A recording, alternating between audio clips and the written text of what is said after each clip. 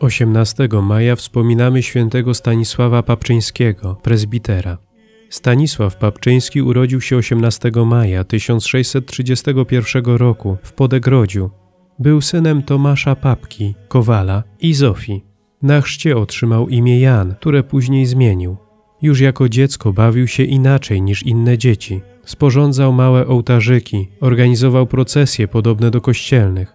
Od wczesnej młodości wyróżniał się wielkim nabożeństwem do opatrzności Bożej, męki pańskiej, Najświętszego Sakramentu, Najświętszej Marii Panny.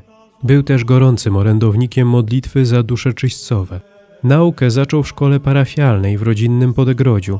Kontynuował ją natomiast w Nowym Sączu. Kształcił się też krótko w kolegium jezuickim w Jarosławiu.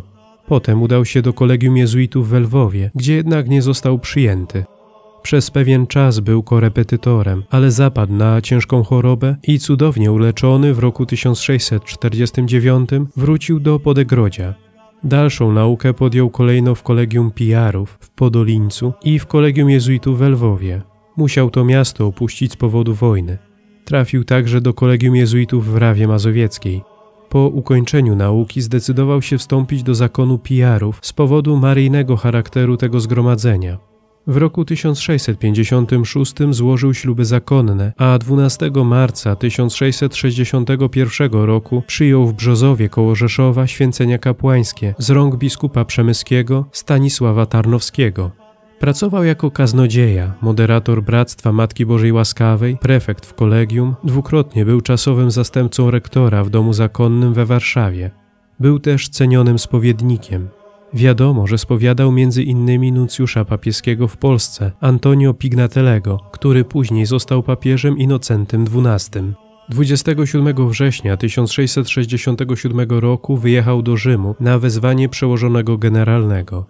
Rok później został wysłany przez generała do Nikolsburga, a rok później we wrześniu przyjechał do rezydencji Pijarów na Kazimierzu w Krakowie.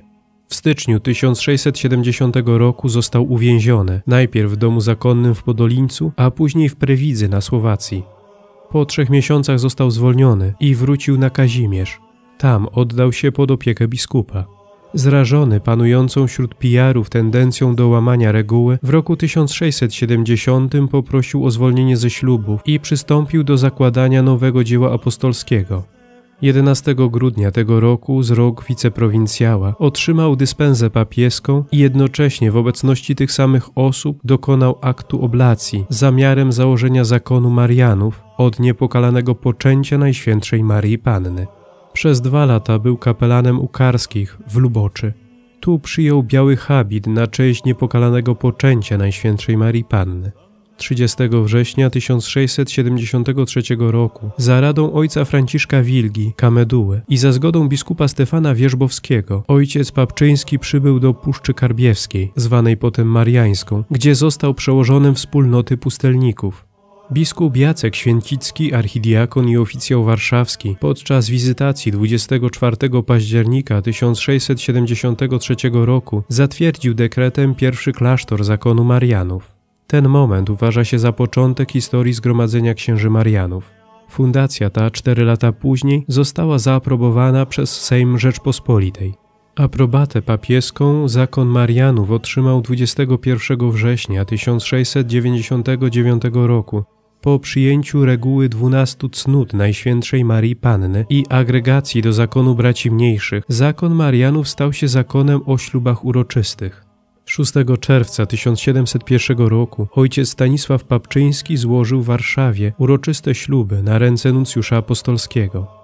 Miesiąc później przyjął profesję zakonną swoich współbraci.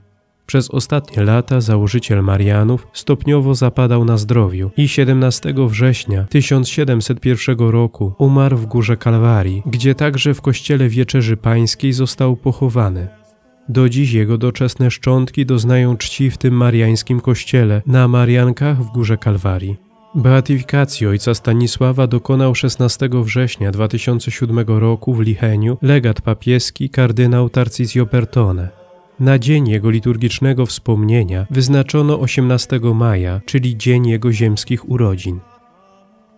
Módlmy się. Boże, Ty w swojej opatrzności powołałeś świętego Stanisława, prezbitera, do szerzenia czci niepokalanego poczęcia Najświętszej Marii Panny i niesienia pomocy zmarłym w czyśćcu. Spraw prosimy, abyśmy za przykładem Jego życia i apostolskiej działalności głosili pełnię łaski i świętości Matki Twojego Syna i wypraszając miłosierdzie dla zmarłych, dostąpili udziału w prawdziwej Ojczyźnie, przez naszego Pana Jezusa Chrystusa, Twojego Syna, który z Tobą żyje i króluje w jedności Ducha Świętego, Bóg przez wszystkie wieki wieków. Amen.